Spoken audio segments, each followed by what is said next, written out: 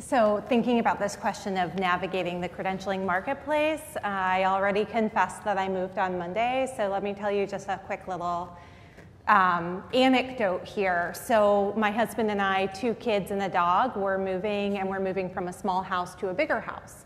My dad and his wife are also moving, they're moving from a bigger house to a small house. And uh, we both have real estate agents. We sold first, he cannot sell um, his house, which is a bigger family home. There were five of us at home.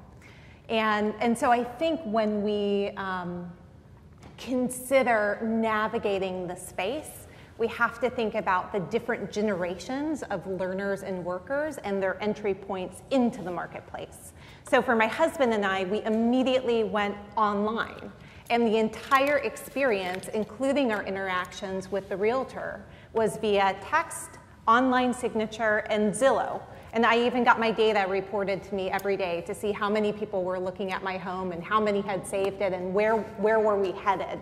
Um, my dad's realtor is a friend who he grew up with, and uh, it got posted in the local newspaper, um, which is perfect for my dad, but not perfect for a young family like mine, who I didn't even think about looking in my local newspaper for a new home.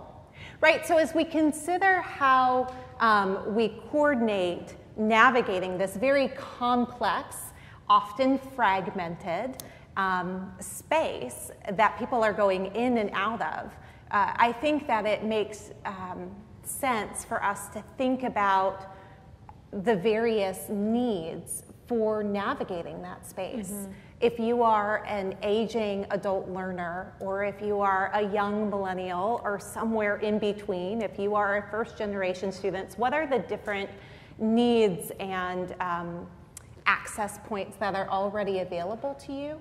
I really like, and I, I so appreciate that UMUC is in the room and, and others like Thomas Edison, a lot of our um, folks who are part of the Competency-Based Education Network, we see a lot of the CBE institutions, competency-based ed institutions, who are sort of front runners in rethinking navigational supports and student support services and unpacking them a little bit.